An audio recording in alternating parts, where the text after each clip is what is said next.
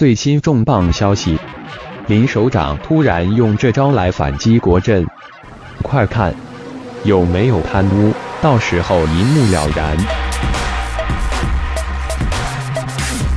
林官英鼓励滨州的西盟国会议员也公布他们的财产。City Side News 等社。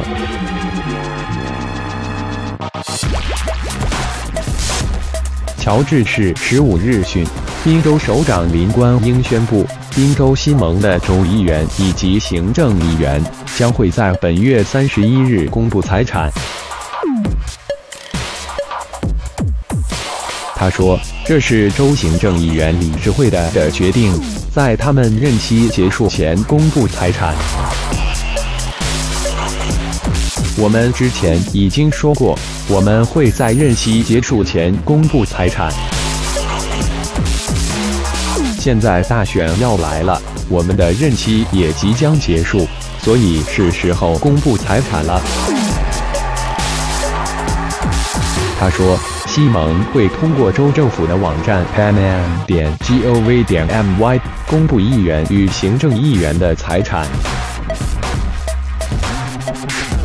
这证明我们遵守承诺，这是我们确保零贪污政府的措施。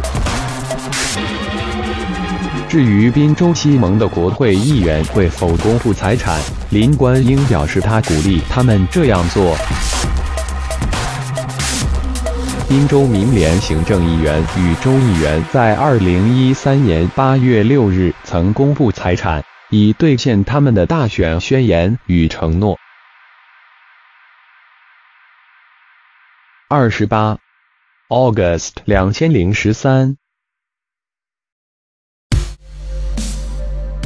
滨州民联政府兑现五百零五竞选宣言。滨州首长林官英连同十名行政议员及十九名州议员在开斋节前夕公布个人财产。滨州是全马首个公布行政议员及州议员个人财产的州属。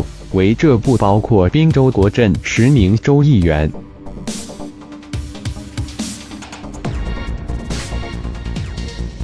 滨州民联政府自去年首开先河，公布滨州首长及十名行政议员的个人财产后，今年再兑现五百零五竞选宣言，公布三十名民联议员的个人财产。滨州首长林冠英于八月七日在公布民联财产后表示，期望往后民联议员可以每年公布财产，因为虽然这是滨州政府的一小步，但却是迈向透明化制度的一大步。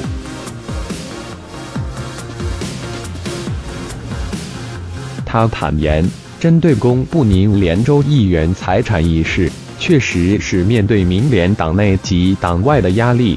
包括有民联领袖向他反映，担心议员的人身安全问题。他说：“要公开所有议员的财产不是件简单的事，因为必须要告诉议员们是安全而且不会造成任何不方便或威胁的。”他说。滨州是马来西亚唯一领先而且敢公布议员财产的州属，目的是要树立一个好榜样，让其他不止民联州属的效仿。而且这政策也让滨州议员们成为了滨州子民的骄傲。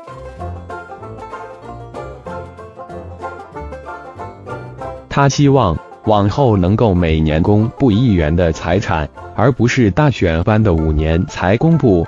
而且，滨州国镇议员若要公布财产，可以联络州政府，州政府将提供他们免费的审计服务。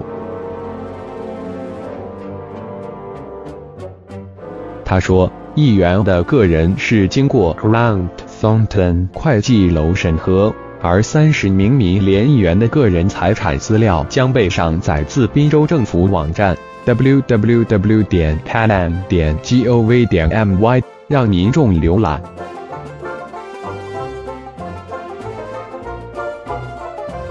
他说，目前阶段是要求州议员公开财产，以后再通过让滨州国会议员也一同公布财产，但先从公布州议员财产开始。